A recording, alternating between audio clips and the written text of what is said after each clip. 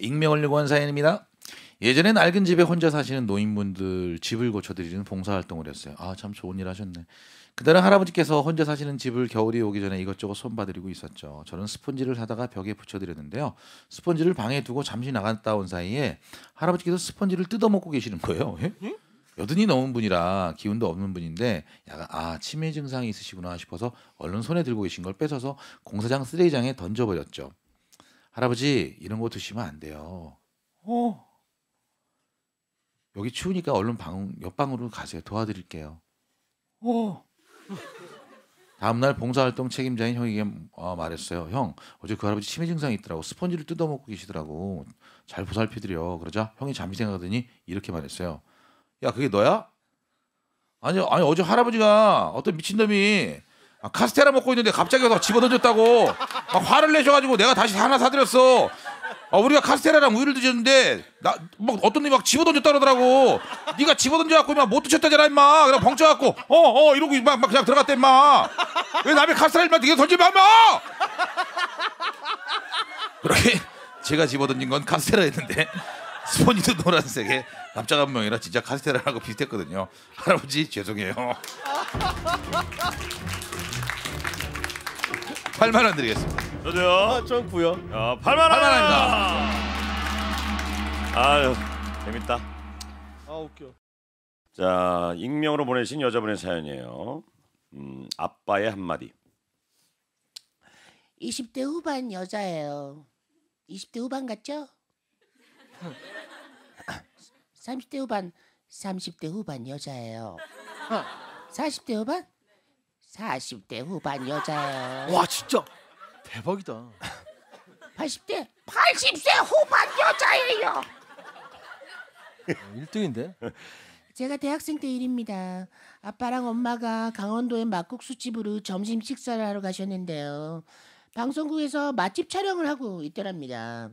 어, 가- 어, 매- 그래서 메뉴를 시키고 촬영하는 걸 구경하고 있는데 음식이 나와 젓가락을 드는 순간 촬영팀이 카메라를 막 들이대는 거예요.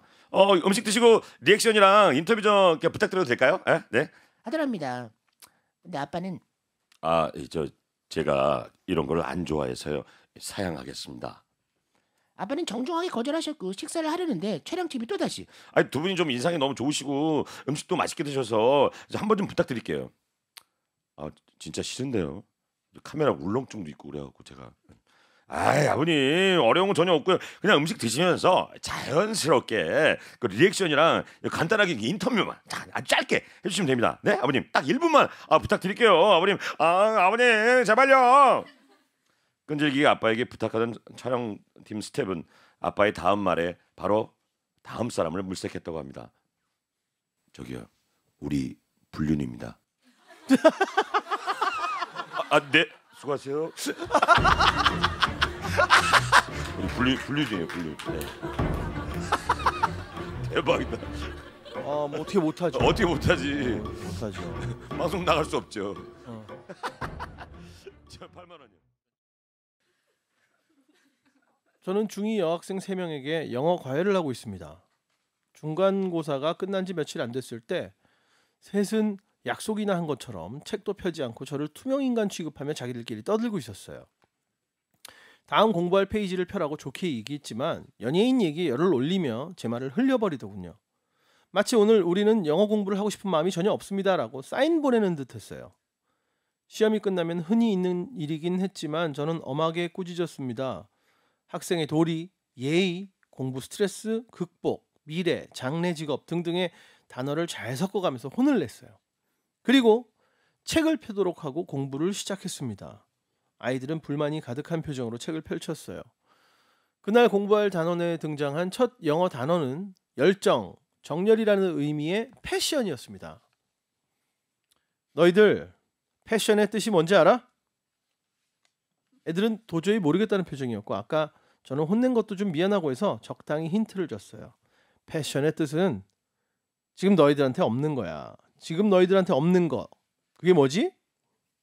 그러자 여학생 중 한 명이 말했어요. 싸가지? 정답! 그 말도 맞는 말이라 아니라고 할 수 없었습니다.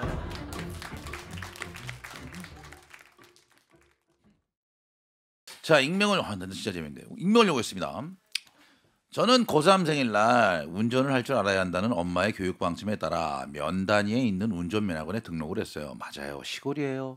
안전교육과 필기시험 기능 시험을 통과하고 드디어 대망의 도로주행 손이 벌벌벌 떨렸어요. 감독님이 감- 강독관님이 조수석에 앉으시고 제가 운전대를 잡았어요. 긴장했지만 차분하게 학원에서 시동을 걸고 장례를 도는데 거부관을 돌고 있을 때 선글라스를 끼고 팔을 창틀에 걸친 감독관님이 말씀하셨어요. 항상 운전 좀 해봐줘. 운전 해봐줘. 뭐지? 왜 물어보지 싶었던 저는 더듬으며 아 근데, 네, 많이 해봤습니다. 커브를 도는 걸 보니까 부드러워서 물어봤어요. 일단 그 장애로 나가볼까요? 그렇게 불안한 도로 주행이 시작됐어요. 시골길을 달려본 달려 본격적으로 읍내 진입했을 때 다시 감독관님이 물었어요. 학생, 네, 우린 말이요. 지금 마트로 갈게요. 네, 어, 거기는 코, 코스가 아닌데요. 감독관님은 선글라스를 벗고 저를 쳐다보며 이렇게 진지하게 간지나게 말씀하셨어요. 감독관은 나요. 아, 네, 마, 근데 마트는 왜요? 우리 집 개사료가 떨어져가지고 마트를 들려댈 것 같아요. 어이가 없었지만 감독관님이 가라니까 마트 쪽으로 차를 돌렸어요. 주차를 하고 감독관님은 사료를 사러 들어갔어요. 아 이상하네 이거 이러다 나중에 부정행위로 간주되는 거 아니야? 이거 뭐 이런 일단 뭐 감독관이 다 있어 불안해하고 있는데 5분 뒤에 감독관님이 진짜로 어깨에 개사료를 이고 나왔어요. 뒷좌석으로 싣고 문을 닫으시더니 갑자기 차 주위를 한차 주위를 한 바퀴 도시더군요. 그리고 차에 타면서 하시는 말씀 합격.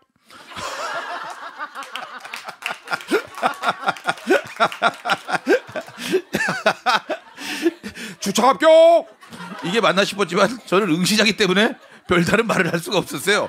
그렇게 개사료를 싣고 다시 학원으로 복귀해 가는데 갑자기 차 세워요. 차 세워. 여기다 세워. 여기 세워요. 아니 뭐 줬다기 다 있어요. 언제부터 있었지 이게? 저도 놀라서 쳐다봤는데 길가에서 방울토마토를 팔고 있었어요. 감독관님은 5천 원치를 사오셨고 저한테 나눠 먹자고 하셨어요. 나랑 먹자고요. 비상등을 켜고 잠시 정차해놓고 방울토마토를 사이좋게 나눠 먹은 뒤에 다시 운전으로 운전학으로 출발했어요. 학원 입구를 지나가는데 감독관님이 또 소리를 지르며 말씀하셨어요. 합격! 합격이에요. 그렇게 면허증을 땄고 시험 과정과는 달리 8년째 무사고입니다. 참고로 제 친구는 그 감, 감독관님이랑 근처 휴게소에서 호떡 먹고 왔대요. 친구는 호떡 먹고 싶었. 그분은 지금도 계시는지 궁금합니다. 8만 원요. 저도요. 8만 원입니다. 자, 두 번째 사연은 모태 솔로 탈출기. 아, 글쓴이 익명입니다. 저는 남자친구가 없어요. 20년이 넘도록 한 번도 없어요. 지난 여름방학 친구가 전남 고흥으로 체묘 알바를 하러 가자고 했어요. 체묘란 것은 어, 갯벌에 대나무를 꽂는 작업인데 어, 힘들다고 소문이 많이 나 있는 알바였지만은 시급이 엄청 세다고 하더군요. 돈 욕심이 나서 냉큼 따라 나섰죠. 남자들로 온다길래 으흐, 남자들로 으흐. 친구와 저는 혹시나 하는 생각에 새벽에 일어나서 풀메이를 하고 풀메이크업을 하고 버스에 몸을 실었죠. 일하러 가는데 풀메이를 하고 있는. 갯벌 가서 이거 꽂으러 가는데 왜 풀메이크? 학교 입구에서 관광버스를 타고 다- 바다에서 내렸죠. 처음이라 뭐가 뭔지 하나도 모르겠지만 일단 배, 배에 타라길래 타고 한참을 나갔어요. 자, 선장님이. 자, 2인 1조로 남자와 여자가 짝을 지으세요.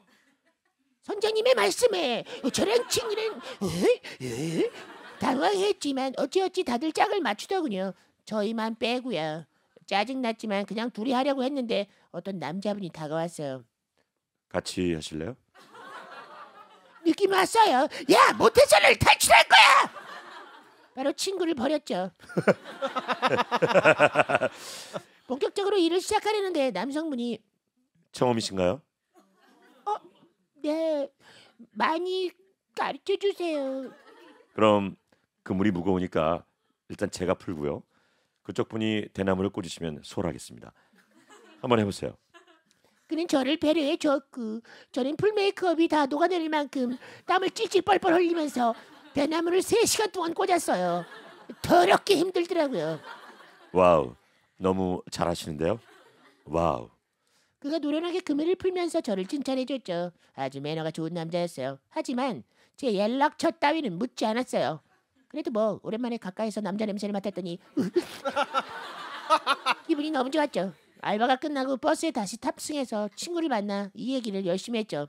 야 잘생긴 남자가 매너까지 좋은 거야. 글쎄 내가 힘들까봐 자기가 그물을 풀 테니까 나한테 대나무 꽂으라고 하더라고. 힘들었지만 좋았지 뭐니. 음, 하. 그런데 친구가 놀라면서 깔깔 웃는 거 아니에요?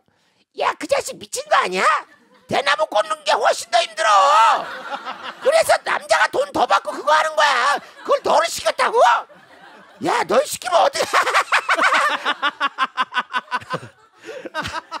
한 10분을 계속 웃더라고요. 그 남자는 7만 원과 저희 희망을 가져갔어요. 쓸쓸한 새해네요. 다음에 우연이라도 마주치면 죽여버리려고요. 야 완전 사기꾼이네. 완전 사기꾼이야. 어, 대박이다 이 남자. 아, 이제 이런 아, 상황이 진짜 여자니까. 이렇게 되는 거 아닐까 싶네요. 음. 와, 아. 저는 저는 구요. 전 팔이요. 저 구요. 그만합니다. 자 사연 읽어도록 하겠습니다. 좋은 얘기인가? 정보람 씨, 제 친구 윤선이는 웃긴다. 일단 축하드립니다. 제, 그, 제 친구 윤선이는 치질이에요. 축하드립니다. 아, 이 아, 8만 원. 첫, 첫 문장부터 아주 8만 원. 굉장히 그냥 즐겁게 예, 친구의 똥꼬를 밝혀주셨네요. 어, 병원에선 어, 수술을 권했지만 무서워서 계속 미루며 바르는 연고에 의존해서 버티는 중입니다. 그날도 엉덩이가 화끈거리는 걸 참고 있는데 아버지가 참신한 방법을 제안했어요. 나도 젊었을 때 치질이 있었는데 딱 이거 한 번 해고 나선 났어요. 추천하는 방법이다 이게. 이거 뭐 여자분이네. 윤선이가 뭔데? 어, 윤선 씨 고치세요. 소고기를 소고기를 항문에 붙여봐. 생걸로다가 항문에 생고기를 붙이고 자고 일어나면 말끔해졌어요 내가. 아 말도 안돼 그런 게 어딨어. 아 이거 입으로 넣어야지 이걸. 진짜야. 한번 해보기나 해 정말 효과가 있다니까 이게. 소고기를 생, 생고기를 아 싫어. 그딴 걸 어떻게 붙이고 자 찝찝해 안 해. 처음에는 절대 절대 싫다고 했던 윤선이 아버지의 끈질긴 설득과 또 혹시나 효과가 있으면 수술을 하지 않아도 된다는 희망으로 결국 아버지께서 추천하신 방법을 시도해 보기로 했어요. 아 이분 너무했다 이런 얘기를 해줬어 정보람 씨 윤선 씨 그 얘기를 엄마도 갸우뚱하시면서 일단 소고기를 사왔어요. 엄마 아 이거 진짜 효과가 있을까? 나한테 장난치는 거 아니지 진짜? 야 지금 이 비싼 소고기를 사다가 어 먹지도 않겠다고 어 너 놀리겠다고 네 똥꼬에다 이걸 붙여주겠니? 이번에 아빠를 한번 믿어보자 우리가 그렇게 윤선이는 엉덩이에 생고기를 붙이고 푹 빨아 누워서 차렷자세로 잠을 잤다고 합니다. 다음 날 아침 야 봐봐 봐봐. 어떻게 됐니? 확인 좀 해보자. 어떻게 됐니? 봐봐 봐 아 왜요 어머 어, 어, 어 떻게 됐는데? 나나 질 나, 싹 나왔어? 소고기가 익었어. 바싹 익었어. 윤선이 항문이 성이 났었나 봅니다. 밤새 붙이고 간 소고기가 아주 맛있게 익고 있었다. 덕분에 항문의 열기는 가라앉았지만 완치는 되지 않아서 윤선이는 이달 말에 수술할 예정이래요. 윤선이가 치질수라면 소고기 사들고 방문 병, 병문안 갈까 합니다. 8만 원이요. 저도요. 저도요. 8만 원입니다. 얼마나? 소고기가 익었- 정승현 씨의 사연입니다. 정승현 씨, 당신 사연이 읽힐 것 같아요. 제 남동생이 자취할 때 얘기예요. 야 너도 진짜 잘하는 것 같아. 고마워. 기집애들 참. 이 기집애랑 저랑 동갑이에요. 어 오빠. 스스로 할 줄 아는 것도 별로 없고 늘 편의점 음식이나 인스턴트로 때우곤 했죠. 그러던 어느 날 엄마는 동생이 걱정되셨는지 삼겹살과 함께 먹을 쌈 채소들을 보내셨어요. 택배를 잘 받았는지 엄마 휴대폰이 울렸습니다. 여보세요. 어 아들. 에, 어, 엄마. 엄마 일부러 그랬지? 아, 왜? 엄마 뭐가? 오늘 삼겹살하고 상추 잘 갔다고 문자 왔던데. 아니 뭐 잘못됐어? 어 삼겹살은 진짜 맛있더라. 벌써 삼겹살 먹었어? 쌈이랑 잘 싸 먹었지? 아이 쌈을 언제 먹으라고? 그날 동생에겐 삼겹살과 어떤 큰 박스가 도착을 했는데요. 거의 쌀 한 가마니 정도 되는 무게였대요. 삼겹살이 쌈 쌈. 쌈이 한 쌈이 한 가마니가 왔다고? 상추 잘 갔다고 문자가 왔는데 예. 엄마가 뭘 보냈길래 이렇게 무거운가 살펴봤더니 그럼 돼지고기는 한 마리를 보냈어야 되는데 그 정도면. 위에 잘 키워주세요라고 적혀 있었고 박스를 열어본 동생은 가지런한 상추 모종들과 흙을 흙을 만나게 됩니다. 흑이랑 상추 모종이 한 박스 가득. 엄마가 상추를 시키신다는 게 실수로 상추 모종을 시키셨고 동생한테 쌈 싸 먹으라고 돈 보내신 거죠. 이거 심어서 키워 먹으라는 거야? 엄마 나 이런 거 못해. 엄마 일부러 그랬지? 결국 그 상추는 동생이 자취방 구석에서 조용히 운명했다고 합니다. 지금은 군 복무, 중- 어, 복- 복무 중인 동생. 휴가 나오면 누나가 제대로 된 상추랑 삼겹살 사줄게.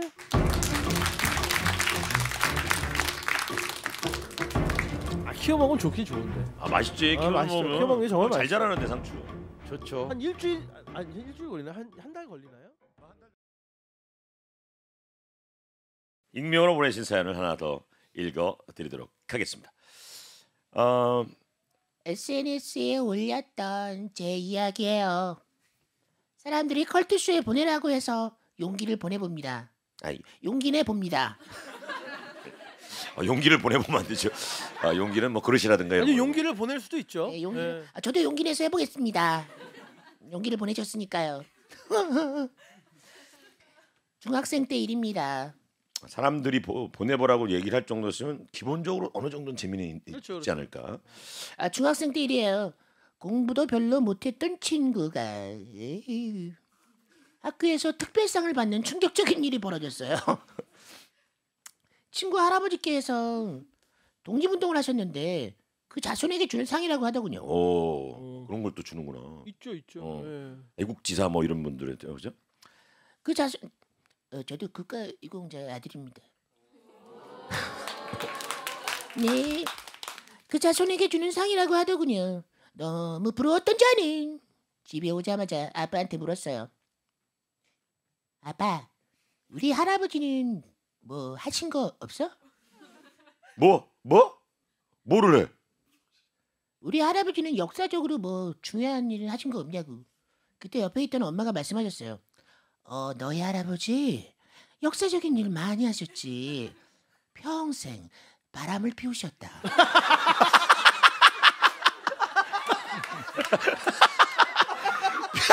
평생 바람을 피우셨단다. 뭐야? 옷깃만 스쳐도 작업을 하셨어요. 아, 아 바람은 무슨 바람이야? 왜 앞에서 지금 사람 차에 앞에서 못하는 소리가 없어요? 따라 할아버지는 바람을 피우셨다기보다는 사랑꾼이셨어요. 어, 평소 사랑에 넘치는 아주 아름다운 마음이 따뜻한 분이셨지. 뭐야? 그럼 외할아버지는 뭐 하신 거 없어? 외할아버지. 아, 좀 전에 친할아버지 얘기하신 거잖아요, 그죠? 어, 기회다 싶었는지 아버지가 당당하게 말씀하셨어요. 어, 너희 외할아버지 역사적인 일을 아주 많이 하셨지. 어, 뭐 하셨는데요? 평생 노름을 하셨단다.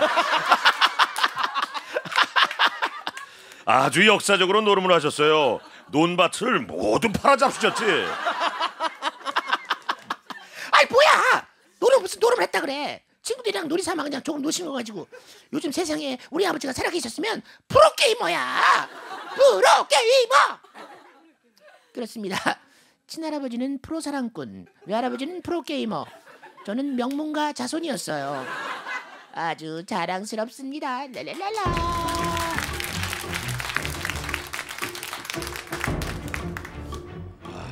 조심스럽게 했구만은. 황선중 씨입니다.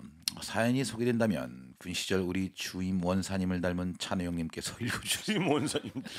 참고로 전투모 사이즈가 63호셨거든요. 아, 엄청 크다. 사연 시작 써주셨습니다. 저는 5년차 예비역 병장입니다. 군 시절 연대본부 인사 개원으로 복무하던 저는 연대장님을 지근해서 모시게 됐는데 연대장님으로 말씀드리자면 듣- 말씀드리자면 병사들을 생각하는 마음이 지극하신 참 군인이었습니다. 참 군인이셨으나 성질이 어마어마하게 급하셨어요. 가령 커피를 드시고 싶다 하면 그냥 커피를 달라고 하시면 되는데 다급하게 어 연회장님 어디 피나셨습니까? 커피 커피 말이야 커피 커피 커피 커피 커피 빨리 빨리 빨리 달라고 왜 그런 분들 있잖아요. 성격이 오급해서 모든 단어를 외자로 말씀하시고 더듬대는 분들이요. 연대장님 딱 그런 캐릭터였어요. 당시 국가적으로 큰 사건이 있었던지라 삼엄한 분위기가 흐르는 가운데 오전에 회의 중에 연대장님이 요, 요즘 말이야. 얼마나 상황이 어, 어, 엄중한지 다, 다, 다, 다들 알지? 그 지- 전투형 야전을 외치는 그 이방국에 그, 그 보- 보니까 그 불치번 불치번 그건 왜 경계 근무를 수사를 아, 아, 아, 안 하는 건가? 앞으로 야간 막사를 순찰하는 부치부도 야간에 막사를 출입할 때는 인원에 대해 무조건 수, 수- 수사를 할 것. 그게 병사들 그 간부도 무조건 본 연대장이나 사단장님이 오셔도 그- 그리 하도록 이를 어길 경우는 근무 대마로 여, 여겨가지고 징계 선거제 외박이 외박이나 휴가를 다 지- 자르도록 해. 다들 무슨 불침번 쏘는데 더군다나 총기도 없어 없이 수화를 하냐고 투덜댔지만 연대장님의 엄한 지시에 그렇게 할 수밖에 없었죠. 그러던 중 연대장님께서 거하게 휴식을 하시고 새벽 3시에 부대를 순찰하고 하러 오시긴 했는데 급 신호가 오신 거예요. 당시 저희 부대 막사가 외진 곳에 멀리 떨어져 있어서 다시 돌아갈 수도 없고 할 수 없이 터져 나오려는 괄약근을 부여잡고 부여잡고 힘겹게 오신 연대장님이 막사로 들어서려는 순간 불침번이 정지 정지 움직여서 손들면 때린다. 움직이면 쏜다도 아니고 움직여서 손들면 때린다. 이게 뭐야? 이상하게 여기셨지만 연대장님 움직여서 손들면 때린다. 아 수- 수고하다. 나 여, 여, 연대장이다. 지금 급한 업무가 있으니까 빨빨빨빨 문을 문을 문문 문 문 문 문 문 문 단결. 아 맞다. 암고돼야지. 요구르트. 아니 연대 연대장이 미처 암고를 숙지 못했다. 지금 급한 업무가 있으니 안 됩니다. 연대장님 요 요로트 평소 같으면 프리패스지만 연대장님이 엄한 지시가 있었고 이게 혹시 연대장님이 일부러 시험을 들게 하는 걸 이러시는 거 아닐까 싶어도 불치보는 정말 강직하고 완강하게 암고를 외쳤습니다. 급기어 이상을 이성을 성, 상실하신 연대장님은 똥 나와! 똥똥똥똥똥똥 나와! 어리어리한 불치보는 이걸 암고 답으로 여기든지 틀렸습니다. 죄송합니다, 연대장님. 요구르트 똥똥똥똥똥똥똥 죄송합니다. 요구르트 요구르트 똥 요구르트 요구르트 요구르트 똥! 똥! 긴박한 핑퐁 게임이 펼쳐졌고 이윽고 털썩 주저앉으신 연대장님 순간 풍기는 질한 내음과 함께 연대장님은 초집을 잃은 눈으로 갈색으로 물든 바지를 부여잡고 쓸쓸히 사라지셨습니다. 그리고 어마어마한 사건을 일으킨 해당 불침번에게 엄정한 경계 근무의 표본이라며 포상휴가를 받게 됐지만 한동안 험난한 군대화를 해야만 했다고 합니다. 어떻게 이렇게 잘하냐고요? 그 불침번이 접니다. 진짜 그 이후로 군생활은 오지게 꼬였습니다. 암고의 답은 쾌변이었습니다. 연대장님. 야 이거 애매하네. 7만 원요. 저도요. 저도요. 출발합니다. 권예진 씨 라디오 렉걸린. 저희 아빠는 방귀를 많이 낍니다. 어유 멋지 방규쟁이. 축하드립니다. 아빠들은 방구를 참 많이 끼죠. 그나마 다행인 건 냄새는 안 나는데 소리가 어마무시 무지막지해요. 어느 정도냐면요. 언니랑 제가 어렸을 때 엄마가 안고 업고 TV를 켜고 전화벨이 울려도 절대 깨지 않는 아이들이었는데 아빠가 방귀만 끼면 화들짝 놀라서 잠을 깨갖고 세상이 떠나가라 울었대요. 이 정도예요. 그래서 아빠는 자다가도 방귀 신호가 오면 집 밖으로 뛰쳐나가서 끼셨다고 합니다. 얼마나 크면 그래.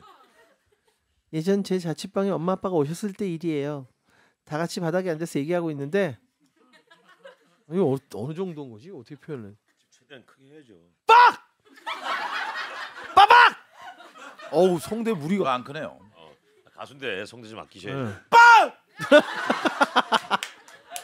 빠박 한 번 더 해주세요. 빠박! 아빠가 방귀를 끼셨어요. 엄마랑 전 뭐 익숙한 소리라 그냥 대화하고 있었는데요. 몇 분 뒤 아랫집 사는 여자분이 다급하게 올라와서는 아유 지금 무슨 소리 못 들었어요? 혹시 뭐가 무거운 거 떨어뜨리셨나요? 아이고 천장이 무너지는 소리가 들렸는데 아이고 무서워서요. 무거운 거 떨어뜨린. 크크크크크 상상이 잘 안 되시겠지만 이 정도로 소리가 커요. 얼마 전엔 다 같이 이모님 댁에 갔는데요. 참고로 이번에는 아파트 12층입니다. 아빠는 담배를 피우신다며 베란다로 나가셨고 그때도 방귀를 아! 한번 더, 한번 더. 원래 이 방구 소리 크면 소리 질러요.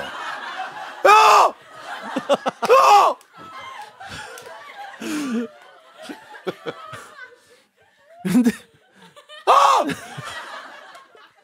또 끼셨나 하고 끼셨나 보다 하고 그냥 대화를 나누고 있었는데요. 아빠가 저를 부르셨어요. 야야야 딸 일로 와봐. 어, 왜요? 아빠가 신기한 거 보여줄게. 창문 좀 내다봐봐. 어, 왜요? 뭔데요? 잠깐만 좀 모아야 돼. 또 해야 되나? 아무 아무 목 아파. 내가 제가 할게요. 야 저기 저 사람 봐봐. 밑을 내려다 보니 길 가던 사람들이 두리번거리는 게 보여. 대박. 어, 뭐 뭐지? 뭐야?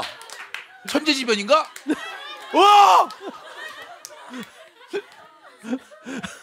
다시 다시 아빠가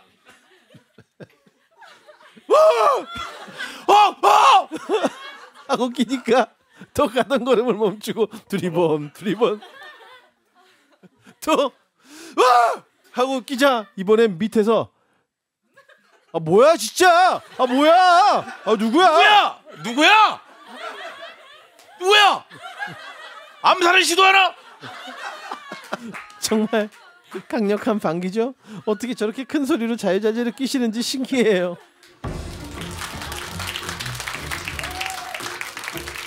아니 이게 이모님 댁이 지금 12층이래잖아요. 12층 베란다에서 이게 소리 질러도 안 들릴 건데. 근데 여기서 막 단지가 많은 집들은 한번 밖으로 빵 치면은 막 울리죠. 그래도 빵. 그래도 방구 소리가 사람을 이렇게 두리번거리게 할 정도면 어우 대단한 어 거야. 엄청난 거죠. 이건 아마 똥 몇 번 쌌을 거야. 그 똥꼬의 구조를 좀 보고 싶네요. 자세히 좀 보고 싶어요. 그런 분들은 네. 그런 똥꼬 좀 만나보고 싶어요. 이게 세게 부딪히는 겁니다. 이렇게. 빡 이렇게. 그렇지. 아 엉덩이 살이 많을 수도 있겠다. 네 그렇죠. 좀 목젖이 달려 목젖이 달려 있을 수도 있어요. 어우 손 아파. 목젖이 달려 있었어요. 저... 뭐 이렇게. 어, 목쉴 뻔했어. 저 팔이요. 퍼왔습니다. 아 잘하셨어요. 이렇게 솔직하게 얘기해 주셔야 돼요. 퍼오신 거예요. 퍼온 것도 정성이니까요. 자기 것처럼 쓰면 선물을 못 드리죠. 편의상 제 시점으로 적어볼게요. 새벽에 자고 있는데 밖에 아주 시끄러웠어요. 창밖을 내다봤더니 20대 초반쯤 돼 보이는 커플이 말다툼을 하고 있더군요. 둘 다 잔뜩 취해서 비틀거리면서 싸우는데 듣기 싫어도 목소리가 어찌나 큰지 그냥 다 들리더라고요. 야! 이 쓰레기 같은 자식아! 네가 그러고도 남자친구냐? 야, 뭐라고? 이 쓰레기? 야 그럼 너는 너는 쓰레기 만나니까 너도 쓰레기다 야 이거. 뭐? 이 쓰레기가 누구 보고 쓰레기라는 거야 이 자식이 너 너는 우리 집 음식물 쓰레기보다 더 못생겼어 임마 뭐? 이 진짜 이씨. 우리 집 재활용 쓰레기보다 더 찌그러진 게 뭐라는 거야 지금 이때부터 좀 웃기기 시작 야, 이때부터 좀 웃기기 시작했어요 누구보다 진지한 표정으로 이상한 비유를 하더라고요. 그때 화, 환경미화원 아저씨께서 청소 차량을 타고 커플 쪽으로 오셨어요. 여자가 먼저 그걸 보더니 남자를 잡아 끌었어요. 야야! 저기 네 친구들 태운 차가 온다 야! 저거 타고 꺼져! 뭐라고? 이거 참 진짜. 둘 다 같이 타면 되겠네? 가자! 저거 타러 가자 우리 쓰레기니까. 둘은 누가 먼저 할 것도 없이 우다다막 뛰어가고 청소차 옆에 타더군요. 진짜 많이 취했네. 미쳤네.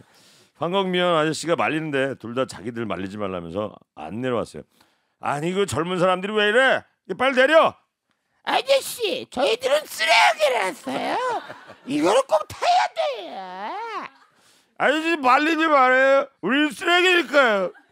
그, 그 커플은 계속 자기들이 쓰레기라고 아우성 쳤고 급기야 미아원 아저씨가 빗자루로 커플을 때리기 시작했어요 여자는 남자를 보면서 아저씨 제 때리지 마세요. 음식물 쓰레기 터져요. 남자는 여자를 보면서 아저씨 쟤는 구겨질 때로 구겨졌으니까 좀 쫙 펴줘요. 결국 미안 아저씨가 한숨을 쉬면서 아유 그럼 둘 다 뒤로 와요. 쓰레기 분리수거 해야 되니까 하면서 종량제 봉투를 꺼내 두 사람 머리에 씌우셨고 그때서야 둘 다 잠잠해졌습니다. 7만 원이에요. 저도요. 저도요. 7만 원. 리주, 류재영 씨의 사연입니다. 고등학교 때입니다. 일입니다. 남고라서 여자들 눈치 볼 일도 없고 장난의 끝을 달리던 질풍노도의 시기. 당시에 쉬는 시간에 자는 친구들 교과서 표지 글자 글자를 화이트와 사인펜으로 바꿔놓는 장난을 많이 치곤 했어요. 예를 들면 국어책 글자를 굴모로 바꾼다든가 아, 아, 시죠 네. 부연 설명을 좀 해달라는데 국어에다가 미음 써서 아니 굴모로 만들. 보덕은 돌떡. 예, 뭐 이렇게 하는 거죠. 예. 그거 진짜 장난 많이 쳤어. 지구과학은 지포와 할머니. 예, 예. 세 뭐 사회를 세화 뭐 이런 식으로 해놓는 거죠. 예. 문제의 그날 아, 저는 유난히 잠 잠이 많은 짝꿍의 음악 책을 수정하며 뿌듯해하고 있었어요. 최대한 글자 획을 수정하지 않고 자연스럽게 만들어져 걸작 중에 걸작이라고 생각했죠. 문제는 음악 시간에 벌어졌습니다. 당시 음악 선생님은 거구의 남자 선생님이셨어요. 그리고 그리움 금강산이라는 가곡을 배우는 중이었어요. 가곡 가곡은 배에서 쫙 소리를 내야 자세를 반듯하게 하고 배의 힘을 단단히 주고 책에 두 손을 잡고 시선과 일직선이 되게 들고 크게 불러야 한다. 그렇게 우리는 책을 높이 들고 노래를 들었는데 학생들 사이를 왔다 갔다 하시던 무서운 음악 선생님께서 무언가를 발견하고 진노하면서 말씀하셨습니다. 아까 아까 제가 수정해 놨던 친구의 음악책. 선생님. 유방 나와. 유방 음악 음악 유방 나와라. 어떻게 바꿨지? 네, 저는 음, 자꾸 음악책을 음악을 유방으로 수정해놨거든요. 자꾸 멀뚱멀뚱 영문을 모르고 들이본데다가 선생님께 귀를 잡혀서 끌려나갔어요.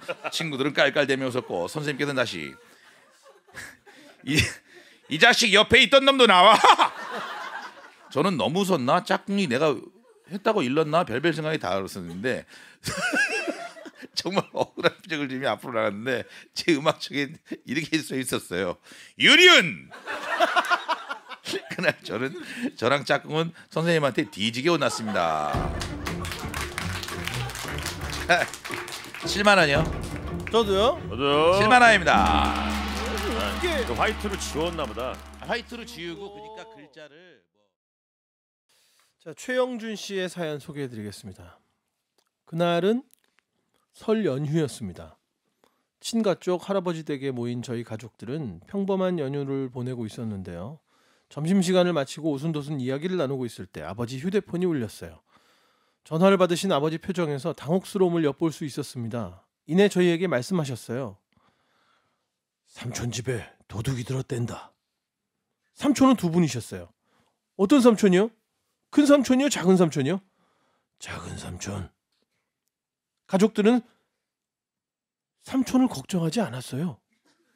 그저 도둑을 걱정했어요. 작은 삼촌은 경찰이시거든요. 도둑은 괜찮대요. 아이고 불쌍한 놈. 거기를 왜 들어갔대? 저희 삼촌은 마동석처럼 생긴 경찰이세요. 와, 와 무서웠겠다. 연휴지만 근무 때문에 경찰복으로 갈아입으셨는데 현관문이 달그락거리는 소리가 들렸고 도둑임을 직감한 감, 삼촌은 문 앞에서 팔짱을 끼고 서 계셨대요. 그리고 놀라서 멍 때리는 도둑을 단숨에 제압하셨다고 합니다. 나중, 나중에 도둑이 울면서 얘기했대요. 현관 문을 열고 진짜 울 뻔했어요. 큰 맘 먹고 문 따고 들어갔는데 앞에 제복 입은 경찰이 서 있잖아요. 벌써 누가 신고했나? 우리나라 경찰 진짜 빠르다. 너무 놀랐어요. 설날에 도둑을 잡은 삼촌은 지금도 불철주야 경찰로서 열심히 근무하고 계십니다.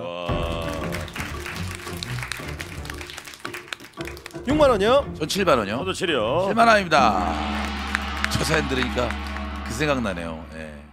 명- 대가족이 있었는데 이것도 읽었던 사연인데 아, 대가족인데 아, 그렇죠. 명절날 전부 뭐 이렇게 뭐 칼 들고 이렇게 뭘뭐밤 까고 밤 밤까고 밤 밤까고 까고 밤 있는데 까고. 도둑이 칼 들고 들어온 거예요. 근데 몇십 명이 칼을 들고 있는 거예요. 이렇게. 대가족 전부 칼 들고 이렇게 정전이 됐는데 불딱 해보니까 뭐 며느리까지 해서 몇 몇십 명. 정전이었나? 어 정전이 불딱. 해보니까 자우지가- 칼을 다 들고. 자우지간 전부 칼을 들고 있어갖고 저 한 20년 전 20년 넘은 얘기인데 저희 그 선배님 댁에 도둑이 들은 거예요. 예. 그 집안이 다 유도 가족이거든요. 어우. 박살났겠네. 뭐 그날 들어왔다가 예. 여기 몇 번 던져줬다 그러더라고요. 그러니까 어. 어 다음 사연입니다. 김문선 씨가 아, 보내신 사연이네요. 왠지 신문선 씨가 생각나네요. 음, 꼴이네요. 날씨가 쌀쌀하니 발목이 쑤셔오고 통증과 함께 몇 년 전 일이 떠올라 이렇게 글을 적어봅니다. 핸드폰을 보면서 지하철 계단을 내려가다가 그만 발목을 크게 접질리고 말았어요. 아! 외마디 비명과 함께 철퍼덕 나뒹굴었죠. 어, 주위에 있던 사람들 몇몇이 제 흑 역사를 보고 말았죠. 그걸 보고 있었죠. 창피하기도 했지만 일단 발목이 너무 아파갖고는 꼼짝 못하고 주저앉아 있었는데 어떤 남자분이 손을 내밀며 말했어요. 괜찮아요? 움직일 수 있겠어요? 괜찮아요?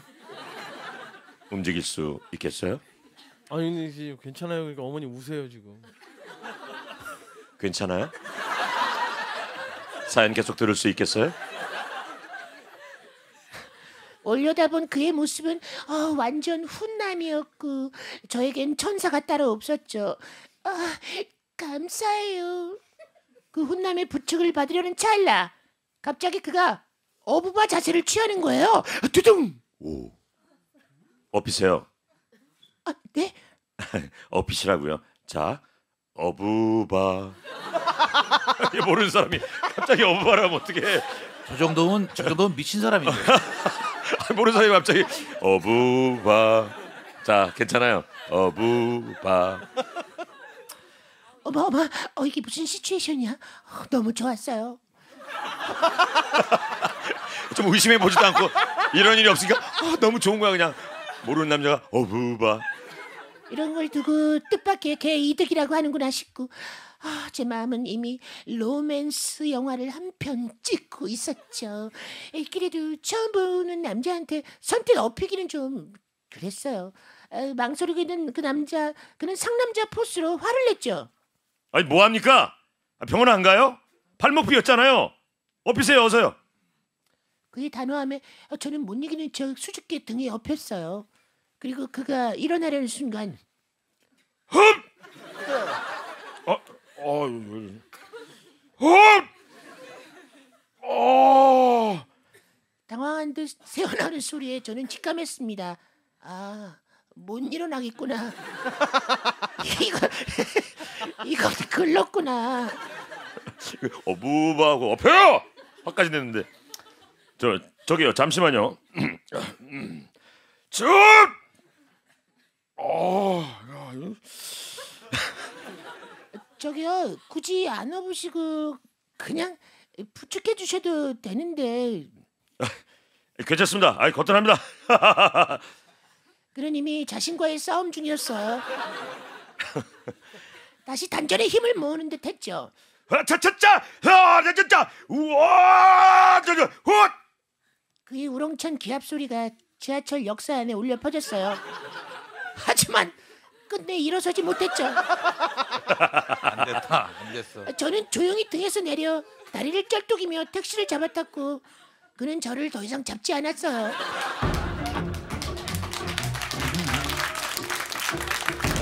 와, 자, 현심을 쓰려 그랬던 건데 진짜 그죠? 음, 아유, 좀 아쉽게 끝났네요, 사연이. 8만 원이요? 저도 8만 원요. 저도요. 8만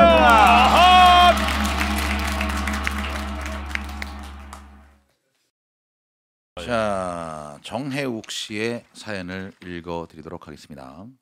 제목이 그냥 할아버지예요. 어, 12월 31일 날 술을 너무 마셔서 새해 아침부터 술병이 났어요. 축하드립니다. 위에서는 토하고 아래서는 싸제끼다가 결국 병원을 가기 위해 집을 나섰어요. 택시가 잘 잡히지 않아서 한참을 기다렸는데 마주오는 택시가 마치 저를 태울 듯 말 듯 아슬아슬하게 설까 말까를 고민하는 듯 서더군요. 나이가 엄청 많으시고 백발이 백발도 몇 가닥 남지 않은 할아버지 기사님이셨어요. 택시를 타고 병원을 가는데 기사님이 물으셨습니다. 지금 카드기가 고장이 나서 혹시 현금이 있나요? 저 카, 카드밖에 없는데요. 아이고야. 방금도 한 분이 현금이 없어서 태웠다가 다시 내려줬어요. 아, 혹시 계좌 이체는 안 될까요? 내가 할 줄을 몰라요. 그럼 여기다가 내려줄게요. 미안해요. 그래도 미안하다는 할아버지 기사님의 말씀이 기분 나쁘진 않았어요. 내려서 다른 택시를 잡으려고 서 있었습니다. 잠시 후한 대가 또 설득 말듯 아슬하게 제 앞에 서는 거예요. 바로 탔어요. 저는 너무 배가 아파서 급하게 기사님 땡땡병으로 가주세요. 빨리요. 아 가주세요. 그러자 할아버지 이 택시는 카드가 고장 나서 현금밖에 안 되는데 괜찮아요? 놀라서 쳐다봤더니 그 기사님이세요. 아니 아까 안 가셨어요? 그러자 할아버지도 기사님을 기사님도 흠칫 보더며 안 내리셨어요? 방금 방금 내렸는데 또 태우시면 어떡해요? 기사님께서 여전히 기울었는 목소리로 그럼 저 앞에 내려줄 테니까 딴 걸 타세요. 미안합니다. 저는 또 내렸어요. 기사님 얼른 들어가셔서 카드를 수리하세요. 그리고 또 택시를 잡으려는데 할아버지 기사님이 또 와서 또 서는 거예요. 별로 없는 데구나. 기사님 저예요. 그냥 가세요. 아 언제 내렸어요?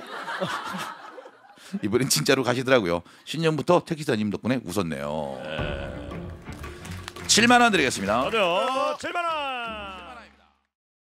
어 되게 짧은 글입니다. 짧은 거 좋아요. 네, 익명을 요- 요구해 주셨어요. 안녕하세요. 27살 남자예요. 요즘 제 취미는 휴대폰 음성 검색입니다. 며칠 전 컬투쇼 레전드 사연을 듣다가 저도 갓길에 차를 세우고 방귀가 나올 때까지 기다렸다가 사 먹고나 방귀를. 방구 나올 때까지 이거 된 거죠 이거 딱 된 거예요. 브라질리아라는 결과를 얻었습니다. 음성 검색. 방구에다가 이제 음성 검색.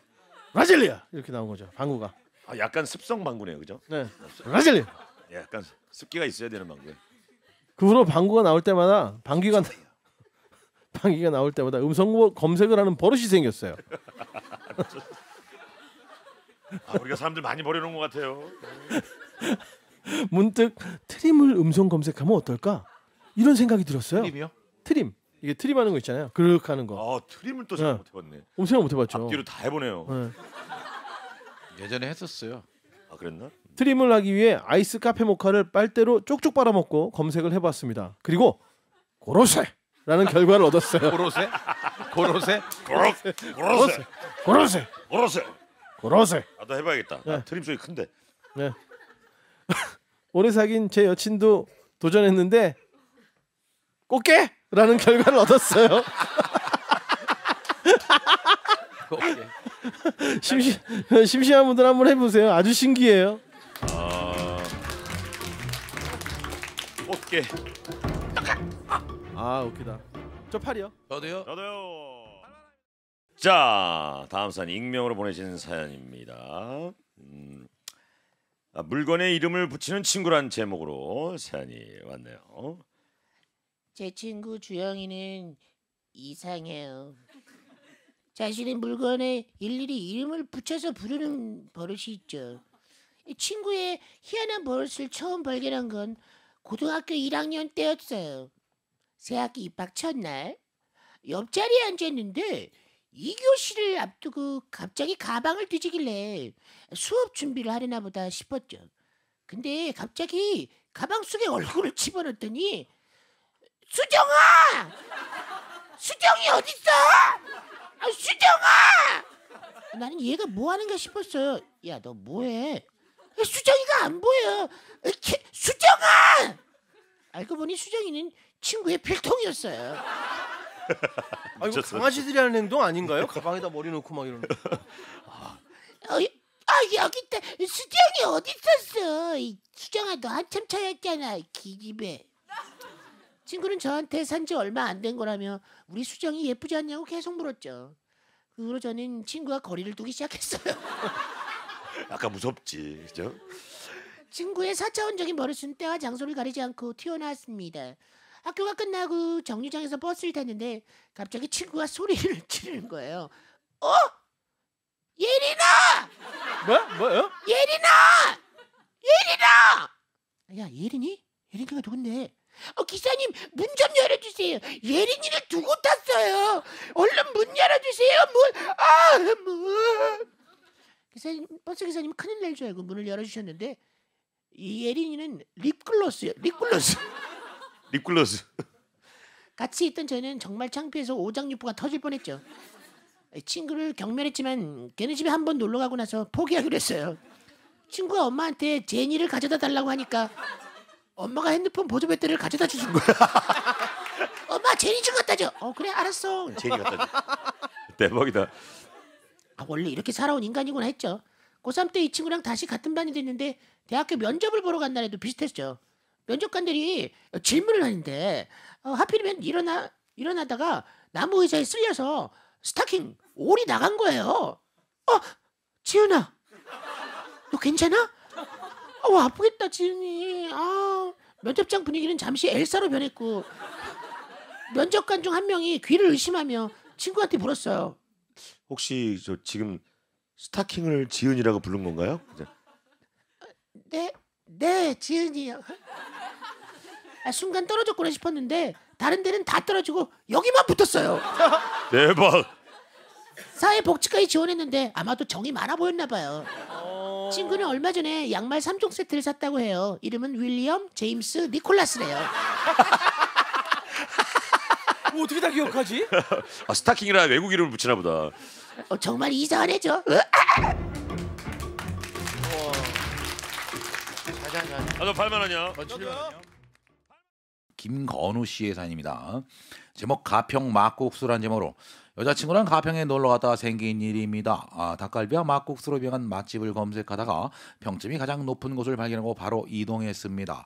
역시 맛집이라 그런지 사람들이 바글바글했어요. 아, 자리에 앉아서 주문을 하려는데 아주머니께서 저희 의견은 필요 없다는 듯이 바로 말씀하셨어요. 닭갈비 두 개 먼저. 여자친구랑 눈이 마주쳤지만 생각보다 가격이 저렴해서 고개를 끄덕이며 괜찮다는 사인을 주고받았습니다. 잠시 후 닭갈비 2인분이 나왔습니다. 아주머니는 또 막국수 두개 하시더니 또 가버렸어요. 저희는 당황했지만 어차피 먹을 막국수였기 때문에 다시 닭갈비에 집중을 했어요. 묽은 고추장에 찍어 먹는 숯불 닭갈비는 정말 맛있었습니다. 야 여기가 진짜 맛집인가 봐. 엄청 멋있다. 어 맞아 맞아 맛 대박이다. 잠시 후에 막국수가 나왔는데 비빔 막국수였어요. 저는 육수가 잔뜩 들어있는 막국수를 생각했는데 비빔이라 아줌마한테 말씀을 드렸습니다. 육수 없나요? 이대로 먹는 게 맛있는데 육수 넣게? 순간 고민됐지만 그냥 달라고 말씀드렸어요. 한참 뒤에 육수가 나왔습니다. 주전자를 받자마자 바로 막국수에 보는데 술 냄새가 확 올라오더라고요. 세상에 동동주였어요. 아니 이거 동동주 같은데요? 아닌데 육수 맞아. 한번 드셔보시라고 종이컵에 한 잔 따라드렸어요. 아줌마는 맛을 보더니 동동주다! 동동주다! 외치셨어요. 셋이 빵 터져서 웃고 있으니까 사장님이 오셨어요. 아 육수를 달라 그랬는데 동동주를 주셨어요. 그거 육수 맞는데? 한번 드셔보세요. 사장님 맛을 보더니 동동주다, 동동주다 하셨어요. 그래도 주전자를 들고 주방으로 가, 그리고 그대로 주전자를 들고 주방으로 가시더라고요. 아 왜 육수통에 동동주를 남아놨어요? 할머니가 그거 육수인데요. 먹어봐요. 할머니가 마신 보더니 동동주다, 동동주다. 너무 웃겨서 서울 오는 내내 동동주다, 동동주다 외치면서 왔네요. 7만 원 드리겠습니다. 가자. 7만 원입니다. 동동주다. 동동주다. 먹고 싶다 동동주. 아, 동동주, 동동주다. 장유리 씨입니다. 경기도에서 살다가요 급하게 서울로 이사를 오- 나오면서 운 좋게 금액에 맞는 집이 있길래 계약을 하고 살게 됐죠. 동네 주변에 숙박업소가 좀 있는 편이지만 식구들 모두 성인이라 뭐 그런 거 별로 신경 안 썼죠. 어느 날 식구들이 모두 잠든 새벽에 어디선가 야릇한 소리가 들려왔어요. 처음엔 친오빠가 방에서 야동을 크게 틀어놓고 보나 아, 이 미쳤나 싶었죠. 근데 방문을 열어보니 자고 있더라고요. 에, 저는 소리나는 곳을 찾아 창문 가까이 다가갔죠. 이건 뭐 실시간 야동도 아니고 집 주변에서 어, 뭐 이런 저런 돌고래 소리가 막 들리더니 그래갖고 엄마를 급하게 깨웠어요. 엄마, 아, 자꾸 밖에서 돌고래 우는 소리가 나. 으아, 끼까, 와, 아, 이러고 얼른 일어나서 같이 들어, 엄마. 어, 너무너무 신기해. 참고로 저는 19금 영화도 엄마랑 같이 본 적 있고 뭐 자연스러운 성교육을 받았기 때문에 엄마랑 이런 얘기를 하는 게 뭐 전혀 민망하지 않았어요. 아유 이 새벽에 무슨 뭔 돌고래야? 어? 진짜라니까 들어봐봐. 밖에선 돌고래 남녀의 소리가 점점 더 커졌고 혼자 듣기엔 아까워서 다시 또 엄마를 다급하게 깨웠어요. 엄마 빨리 일어나봐. 돌고래들이 지금 난리가 났다고. 엄마는 화를 내며 일어나셨고 소리를 들으시더니 아이고 뭔 소리다 그래 진짜. 창문으로 다가가서 그 소리를 듣더니 갑자기 크게 외치셨어요. 야! 너네들만 즐겁냐? 아주 니네들만 신나지? 어? 너네만 재밌어? 어? 니들이 돌고래야? 왜 자꾸 울어대? 엄마의 돌발 행동에 당황한 저는 아, 엄마가 더 시끄러워. 그만해. 저분들의 사랑을 방해하지 말자고. 엄마를 말렸지만 속으로는 아 엄마가 많이 외로우셨었구나 생각했죠. 그 후로 엄마가 주변 분들에게 이런 상황이 있었다며 설명을 하시는데 돌고래 소리가 났다. 아 어쩔 땐 고양이 소리가 났다. 원숭이 놀 소리가 났다. 강아지 소리가 났다. 계속 종류가 바뀌는데 아주 동물의 왕국인 줄 알았네요. 에러 에러 에러